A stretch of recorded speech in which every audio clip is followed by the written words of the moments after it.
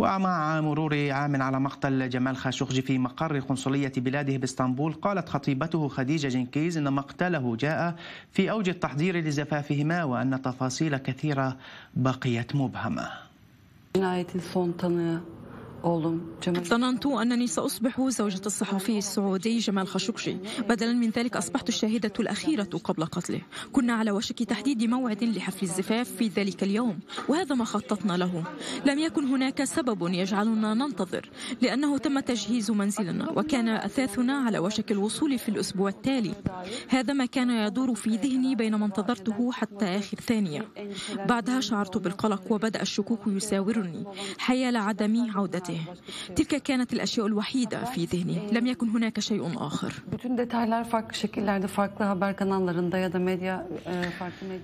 وحول هذا الموضوع ينضم إلينا عبر الخط الهاتفي من إسطنبول علام توفيق وأيضا عبر خدمة سكايب من الرياض الكاتب والمحلل السعودي عبد الحميد لغبين. يعني أبدأ معك علام. علام يعني كيف تنظر تركيا إلى هذه التصريحات من قبل المحققة الأممية التي تتهم محمد بن سلمان بالتورط في هذه الجريمة لا سيما بعد تصريحاته لشبكة أمريكية أول أمس؟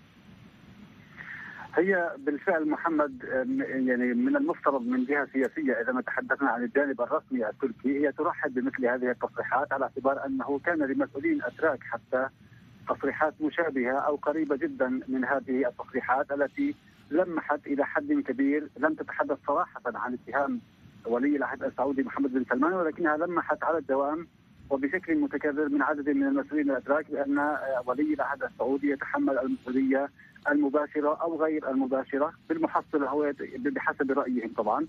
هو يتحمل المسؤولية عن هذه الجريمة التي وقعت في مبنى القنصلية السعودية في إسطنبول ويقولون إنه لا تزال هناك أسئلة مبهمة تحتاج إلى إجابة، ثلاثة أسئلة رئيسية لا يزالون يبحثون عن إجابات لها، أولها هو أين جثه جمال خاشقجي؟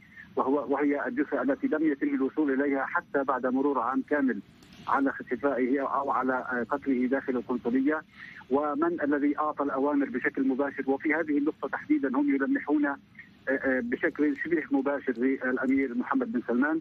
ومن هو المتعاون المحلي الذي تتحدث عنه أو الذي تحدثت عنه السلطات السعودية؟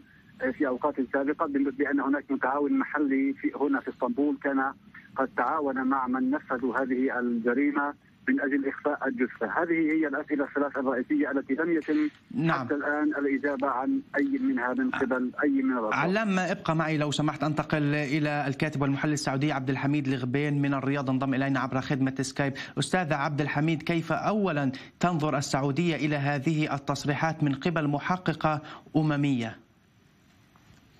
لا شك اولا يعني بالنسبة للمحققة الأممية عندها أهداف سياسية ونحن نعلم تماما أن هناك بينها وبين قطر بالذات وهذا معلوم للجميع.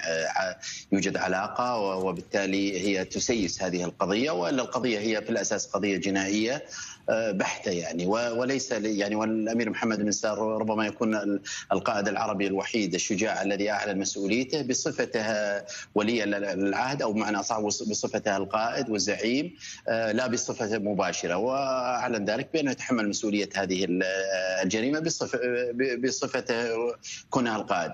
أما أنه يعني للأسف القضية من منذ البداية كان هناك محاولة تسييس القضية ومحاولة ربطها بمحمد بن سلمان. الآن آه، للنيل من المملكة بالدرجة الأولى. وليس يعني إنه البحث عن الحقيقة أو البحث عن آه، يعني من الذي فعل الجريمة هذه والأسباب وما ذلك. يعني ربما منذ اللحظات الأولى كان واضح أشير الاتهام آه، للمملكة قبل أن حتى تصل التحقيقات إلى يعني إنه فعلا يعني جمال خاشقجي تم لكن كثيرون نعم. يعني نظروا إلى تصريحات محمد بن سلمان ولي العهد السعودي السعودي بأنها يعني تطور في عندما يتحمل مسؤولية كقائد في السعودية، لكن يعني الكثيرون أيضا يقولون بأنه لم يروا أي تطور في هذه التحقيقات، لم يتم يعني لم لم يلمسوا أي تطورات جديدة وجدية في هذه التحقيقات.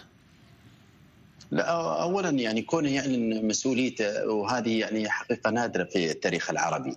مسؤوليته بص يعني أنت تعلم يعني في معظم الدول الغربية عندما يقع أي حادث حتى لو شيء بسيط دائما ما يتحمل المسؤولية رئيس الحكومة أو الرئيس أو ما شابه ذلك ويعلن تحمل المسؤولية ولذلك محمد بن سلمان يعني أراد أن يعطي بعد آخر حتى لا يفهم بشكل مختلف. بالنسبة التحقيقات لا بالعكس التحقيقات آه، إلى الآن تم آه، ست جلسات تقريبا للمحاكمة وتجري بشكل آه، دقيق وأيضا الحكومة السعودية تستعين بتركيا لتزويدها ببعض المعلومات والتحقيقات والاتهامات. سبق أن نعلن عن المتهمين المشاركين في هذه الجريمة. فبالتالي في النهاية سوف يحكم على هؤلاء الأشخاص الذين لا شك قاموا بهذه الجريمة. بعيدا يعني يعني حتى لو هناك من يحاول أن أيضا يربط بأنها مسؤولية الدولة، لا هي هم أشخاص تصرفوا تصرف شخصي وربما اجتهاد حاولوا أن نعم. يقومون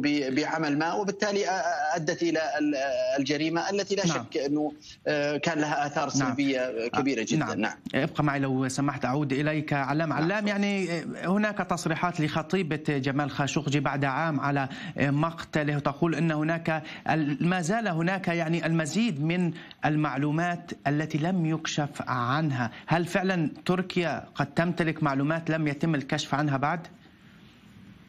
هذا هو الترجيح الأكبر محمد يبدو أن الاستخبارات التركية على وجه التحديد لديها معلومات كثيرة معلومات مهمة آه، لم يعلن عنها حتى الآن ويبدو أنها تنتظر لحظة استخدام هذه المعلومات، استخدام هذه المعنى ربما من ناحية سياسية أو ربما بالضغط السياسي على جهة ما واتحدث هنا عن الجانب السعودي على وجه الخصوص.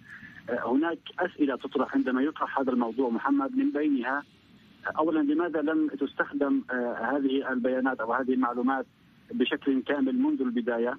وفكرة أن هناك يعني بحسب ما أعلن رسميا أن هناك كانت آه، يعني أجهزة تنصت داخل القنصلية. أيضا تضع تضع علامات استفهام كبيرة جدا بمعنى أنه لماذا لم يتم التدخل إذا ما كانت فعلا إذا ما كان فعلا يتم الاستماع إلى ما يجري إلى ما يجري داخل مبنى القنصلية وبالتالي المعلومات نعم. استخباراتية في الدرجة الأولى يبدو أن هناك معلومات إضافية ومن بين ما يتم الحديث عنه محمد أن هناك ليس فقط تسجيلات تسجيلات صوتية ولكن أيضا ربما تكون هناك تسجيلات فيديو وإذا ما ظهر ذلك آه، آه، نستطيع القول إن إن هذه القضية ستدخل مرحلة مختلفة تماما.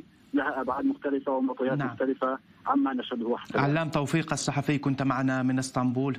شكرا جزيلا لك وأيضا نشكر الكاتب والمحلل السعودي عبد الحميد الغبين كان معنا عبر خدمة سكايب من الرياض. شكرا جزيلا لك.